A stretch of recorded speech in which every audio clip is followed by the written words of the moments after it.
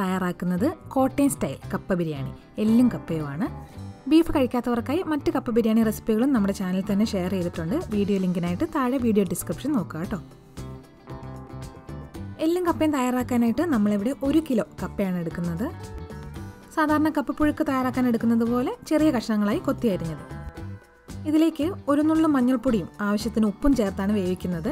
വേവാൻ പ്രയാസമുള്ള കപ്പയാണെങ്കിൽ ഉപ്പ് പിന്നീട് ചേർത്താലും മതി. കുക്കറിൽ കപ്പ വേവി ചൂറ്റുന്ന വിധം അറിയാത്തവരുണ്ടെങ്കിൽ അവർക്ക് കപ്പ താളിച്ചത് അതായത് നമ്മുടെ തേങ്ങ കപ്പയുടെ വീഡിയോ റെഫർ ചെയ്യാവുന്നതാണ്. അത് വീണ്ടും ഇവിടെ പറഞ്ഞു ബോറടിപ്പിക്കുന്നില്ല. അപ്പോൾ മഞ്ഞളും ഉപ്പും ആവശ്യത്തിന് വെള്ളവും ചേർത്ത് കപ്പ വേവിക്കുകയാണ്. കപ്പ വേവുന്ന സമയം കൊണ്ട് പാറലായിട്ട് നമുക്ക് എല്ലും കൂടി തയ്യാറാക്കാം. ഇറച്ചിയോടുകൂടിയുള്ള എല്ലാണ് ഇവിടെ എടുത്തിരിക്കുന്നത്. നാട്ടിലാണെങ്കിൽ എല്ലെന്ന് പറഞ്ഞാൽ മതി അത് അവർക്കറിയാം. സെപ്പറേറ്റ് ആയിട്ട് നമുക്ക് വാങ്ങാൻ കിട്ടും. വിദേശത്ത് എല്ലായിടത്തും നമ്മുടെ നാട്ടിലെ പോലെ ഇങ്ങനെ കിട്ടണമെന്നില്ല. അങ്ങനെയുള്ള ഒരു വാരിയൽ ഭാഗം അതായത് റിബ് റിബ് പോർഷൻ എല്ലോടുകൂടി ചോദിച്ച് വാങ്ങിയാൽ മതി. ഇവിടെ ഞാനിപ്പോൾ ഇതൊരു മുക്കാൽ കിലോ ആണ് എടുത്തിരിക്കുന്നത് ഒരു കിലോ കപ്പയ്ക്ക് കണക്കിന്.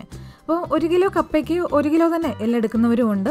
അത് നിങ്ങളുടെ ഇഷ്ടത്തിനനുസരിച്ചിട്ട് ചെയ്യുക അതിൽ കുറച്ച് മതിയെങ്കിൽ അങ്ങനെയും ചെയ്യാം. ഇതിപ്പോൾ ഞാൻ ക്ലീൻ ചെയ്തതിന് ശേഷം അല്പം മഞ്ഞളും ആവശ്യത്തിന് ഉപ്പും ചേർത്ത് വെച്ചിരുന്നതാണ്. ഇപ്പോൾ ക്ലീൻ ചെയ്ത ഉടനെ അടുപ്പത്ത് കയറ്റാനുള്ളതാണെങ്കിൽ അങ്ങനെ ചെയ്യേണ്ട കാര്യമില്ല. ഇതിലേക്കൊരു കാൽ ടീസ്പൂൺ മഞ്ഞൾപ്പൊടി കൂടി ചേർക്കുകയാണ്. നേരത്തെയും ഇതുപോലെ ഒരു കാൽ ടീസ്പൂൺ ആണ് ചേർത്തത്. അതായത് മൊത്തം അര ടീസ്പൂൺ മഞ്ഞൾപ്പൊടി. ഒപ്പം എരിവുള്ള മുളക് പൊടി രണ്ട് ടേബിൾ സ്പൂൺ. അതായത് വലിയ സ്പൂണിന്റെ അളവിലാണ്. എല്ലാം അത്യാവശ്യം നല്ല എരിവിൽ തന്നെ വേണം തയ്യാറാക്കാൻ. കാരണം കപ്പയ്ക്ക് കൂടി ചേർത്തിട്ടുള്ള മസാലയാണ് ഇതിലേക്ക് ഇടേണ്ടത് മുളക് പൊടി മാത്രമല്ല എരിവിനായിട്ട് ഇനിയും പച്ചമുളകും കുരുമുളക് പൊടിയൊക്കെ വഴിയെ ചേർക്കുന്നുണ്ട്. ഇനി ചേർക്കേണ്ടത് ഒരു ടേബിൾ സ്പൂൺ മല്ലിപ്പൊടി. അടുത്തത് ഇഞ്ചിയും വെളുത്തുള്ളിയുമാണ്. ഇഞ്ചി ഒരു ഒന്നര ഇഞ്ച് വലുപ്പമുള്ള ഇഞ്ചി ചെറുതായിട്ട് അരിഞ്ഞെടുത്തതാണ്. അരിഞ്ഞു കഴിഞ്ഞ അളന്ന് നോക്കിയാൽ ഏകദേശം ഒന്നര ടേബിൾ സ്പൂണോളം ഉണ്ടാവും. അതുപോലെ നീളത്തിൽ അരിഞ്ഞു വെച്ചിരിക്കുന്ന വെളുത്തുള്ളി ഒരു മൂന്ന് ടേബിൾ സ്പൂൺ. ഇനി ഒരു വലിയ സവാള. നാട്ടിലെ കണക്കിന് പറയുകയാണെങ്കിൽ രണ്ട് വലിയ സവാള വേണ്ടി വരും. അതായത് അരിഞ്ഞ് നീളത്തിൽ അരിഞ്ഞ് അളന്നെടുക്കുവാണെങ്കിൽ രണ്ടര കപ്പോളം ഉണ്ട്. നീളത്തിൽ തന്നെ അരിയണമെന്നില്ല കേട്ടോ. അത് അളവ് കറക്റ്റ് പറയാനായിട്ട് പറഞ്ഞതേ ഉള്ളൂ. ചുവന്ന സവാള കിട്ടുന്നവർ അത് തന്നെ ചേർക്കുക കേട്ടോ. അതാണ് കൂടുതൽ ടേസ്റ്റി കൊച്ചുള്ളി ആണെങ്കിൽ ഏറ്റവും ബെസ്റ്റാണ് കൊച്ചുള്ളി പക്ഷേ ഇത്ര അളവിൽ ചേർക്കേണ്ട ഒരു കപ്പ് മതിയാവും. ഇനി ഒരു തണ്ട് കറിവേപ്പില കൂടി ചേർത്തിട്ട് ജസ്റ്റ് ഒന്ന് ഇളക്കിയെടുക്കാം. ഞാൻ നേരത്തെ പറഞ്ഞ പോലെ ഇറച്ചിയിൽ ആവശ്യത്തിന് ഉപ്പ് ചേർത്ത് വെച്ചിരുന്നതാണ്. അപ്പോൾ അങ്ങനെ ചെയ്യാത്തവർ ഇപ്പോൾ ഉപ്പ് കൂടി ചേർത്തിട്ട് വേണം വെക്കാൻ. അരക്കപ്പ് വെള്ളം കൂടി ചേർക്കാം. ഇതിപ്പോൾ എല്ലിൽ അത്യാവശ്യം നല്ലപോലെ ഇറച്ചിയുണ്ട്. അപ്പോൾ അതിൽ നിന്ന് വെള്ളം ഇറങ്ങും കൊണ്ട് വെള്ളം ചെറിയ അളവിൽ ചേർക്കുന്നുള്ളൂ. എല്ല് മാത്രമാണെങ്കിൽ ഒരു കപ്പ് വെള്ളം ചേർക്കുക. ഇതിനെ അടച്ചു വെച്ച് വേവിക്കുകയാണ്. ഞങ്ങൾക്ക് ഇവിടെ കിട്ടുന്ന ഇറച്ചി വളരെ സോഫ്റ്റ് ആയിട്ടുള്ള വേവ് കുറവുള്ള ഇറച്ചിയാണ്. അതുകൊണ്ട് ഒറ്റ വിസിൽ തന്നെ വെന്ത് കിട്ടും. പക്ഷേ നാട്ടിലെ പോത്തിറച്ചിയാണെങ്കിൽ മിനിമം അഞ്ച് ആറ് വിസിലൊക്കെ വരെ വെയിറ്റ് ചെയ്യണം. അപ്പോൾ എനിക്കിവിടെ ഒരു വിസിൽ വേണ്ടി വന്നുള്ളൂ. ആവി സെറ്റിലായതിന് ശേഷം തുറക്കുകയാണ് ഇവിടെ ഇപ്പോൾ നമുക്ക് കപ്പ കുഴയാൻ ആവശ്യത്തിന് മാത്രം വെള്ളം മതി ഇതിൽ അപ്പോൾ അത് കൂടുതലുണ്ടെന്നുണ്ടെങ്കിൽ ഈ സമയം തീ ഓണാക്കി തുറന്ന് വെച്ച് വറ്റിക്കണം. എല്ലും കപ്പയും കുറച്ച് കുഴഞ്ഞ പരുവത്തിൽ തന്നെയാണ് സാധാരണ തയ്യാറാക്കുക. നിങ്ങൾക്കിപ്പോൾ കോട്ടയം സ്റ്റൈലെ കപ്പപ്പുഴുക്ക് പോലെ കുറച്ച് ഡ്രൈ ആയിട്ടുള്ള പരുവമാണ് വേണ്ടിയതെങ്കിൽ ഇത് വറ്റിച്ച് ഒരു പെരളൻ പരുവത്തിലാക്കിയിട്ട് കപ്പ ചേർത്താൽ മതിയാവും. നമ്മുടെ ഇറച്ചി മസാല മീറ്റ് മസാല അത് ഇപ്പോഴാണ് ചേർക്കുന്നത്. ഇത് നമ്മുടെ സ്വന്തം മസാലക്കൂട്ടാണ് കേട്ടോ. ഒരു മൾട്ടിപർപ്പസ് മസാലക്കൂട്ടാണെന്ന് വേണമെങ്കിൽ പറയാം. ഇറച്ചിക്ക് വേണ്ടി മാത്രമല്ല മുട്ടക്കറി മഷ്റൂം സോയാബീൻ അങ്ങനെ ഒരുപാട് റെസിപ്പികളിൽ യൂസ് ചെയ്യാൻ പറ്റിയ ഒരു കൂട്ടാണ്.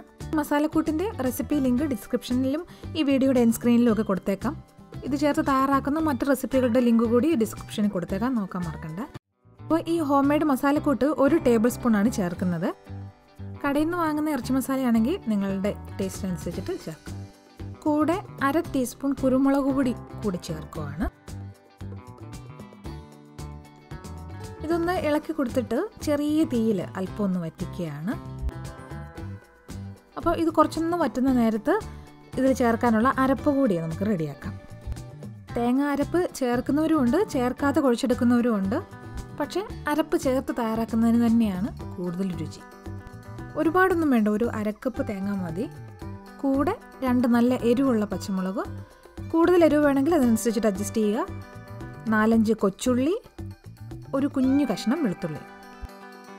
ഒക്കെ കൂടി ഒന്ന് ഒതുക്കിയെടുക്കുക പൾസ് ചെയ്തെടുത്താൽ മതി ഒരുപാട് അരയേണ്ട കാര്യമില്ല.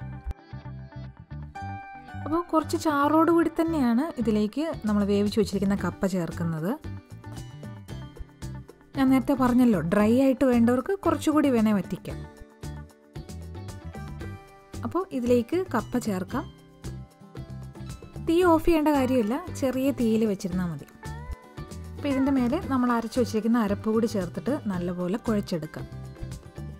സാധാരണ ഞങ്ങളിത് വളരെ സ്പൈസി ആയിട്ടാണ് തയ്യാറാക്കാറ്. അപ്പോൾ ഇവിടെ ഇപ്പോൾ മിതമായ എരിവിലാണ് നമ്മൾ ചെയ്തിരിക്കുന്നത്.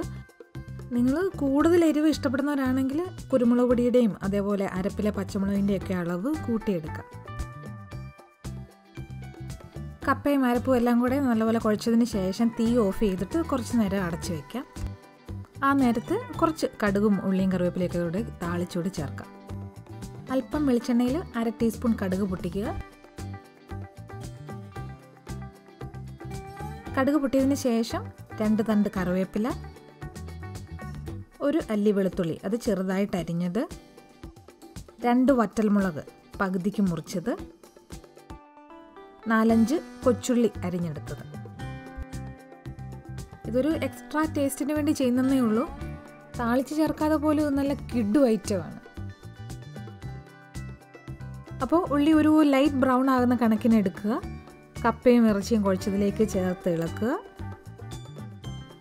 നമ്മുടെ കോട്ടയം സ്റ്റൈലെ കപ്പ ബിരിയാണി എല്ലും കപ്പയും റെഡി ഇറച്ചിയൊക്കെ വാങ്ങാൻ പറ്റാതിരിക്കുന്ന സമയത്തെ ഇതേപോലെ കിഡിലൻ ടേസ്റ്റിലെ കപ്പ ബിരിയാണി കഴിക്കാൻ തോന്നിയാൽ നമ്മുടെ ചാനലിൽ വെജിറ്റേറിയൻ കപ്പ ബിരിയാണികളുടെ റെസിപ്പികളൊക്കെ ഉണ്ട്. അത് ട്രൈ ചെയ്യണം കേട്ടോ.